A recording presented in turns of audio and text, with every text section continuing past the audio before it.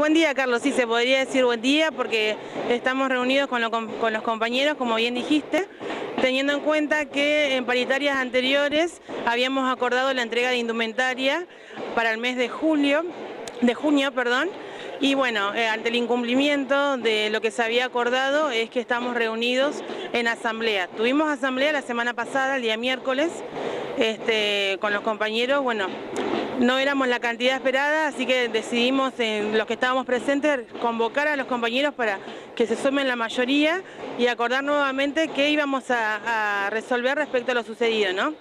Si bien se estaba entregando pantalón y calzado a todo el personal de servicios públicos, no estaba completa la parte del buzo o camisa que se había pedido como parte del equipo, ¿sí? Entonces los compañeros resolvieron que este, se llamara asamblea y movilización permanente para jueves y viernes, hoy jueves 18, mañana viernes 19, y bueno, si el Ejecutivo presentaba una propuesta, la medida llegaría hasta acá, ¿sí? lo, que estamos haciendo en este momento, justamente en este momento mis compañeros con ATE, con UPCN y ATE están reunidos con el secretario de Hacienda, ultimando lo que hablamos recién con ellos. Eh, por el momento... Eh, eh, el Ejecutivo recibió hoy a la inquietud de los gremios y en la mañana eh, mantuvieron un contacto acerca de lo peticionado por parte de ustedes. Sí, nos recibió el señor secretario de Gobierno Luis Navales y el secretario de Hacienda Joaquín Landívar.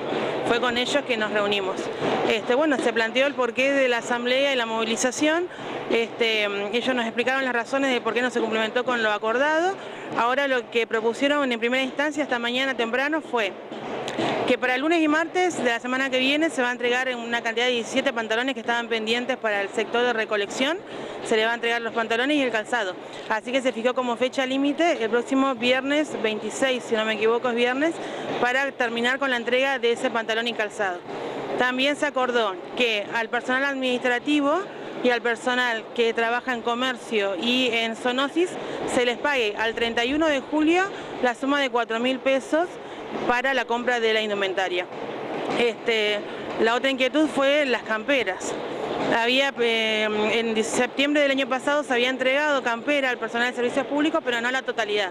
Entonces, en primera instancia, el secretario de Hacienda nos proponía entregar solamente campera al personal que no lo había recibido pero como estamos ya en un nuevo año, ya pasada mitad de año casi, eh, los compañeros nos piden que no, que debería comprársele a todo el personal. Es lo que estuvimos tratando de negociar y es lo que en este momento se está plasmando por escrito el acuerdo y es lo que tenemos que comunicarle a los compañeros que todavía no lo hemos hecho. Apenas vengan los dos gremios con, el, con lo que propuso el secretario de Hacienda, lo vamos a comunicar y bueno, lo que decían los compañeros va a ser lo que, lo que va a concluir, ¿no? Lo que se va a hay un ofrecimiento ahora de parte del Ejecutivo, se está negociando, pero esta propuesta, como decís vos, se la tienen que tener nuevamente en la asamblea que será eh, en el mediodía de hoy para tener esa respuesta si se acepta o no se acepta esto que está eh, ofreciendo el Ejecutivo Municipal. Entonces, Agostina. Exactamente, sí, vamos a seguir en asamblea hasta que tanto los compañeros lleguemos todos a un acuerdo y que estén todos eh, conformes con lo propuesto.